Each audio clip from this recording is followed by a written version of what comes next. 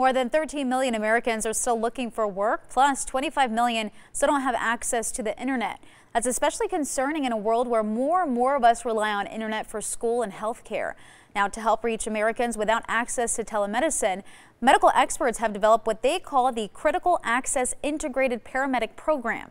It's an emergency vehicle outfitted with monitors and satellite internet. It is, uh, in many ways, like a, a high-tech, advanced uh, home visit um, that you might have seen, you know, 60 years ago.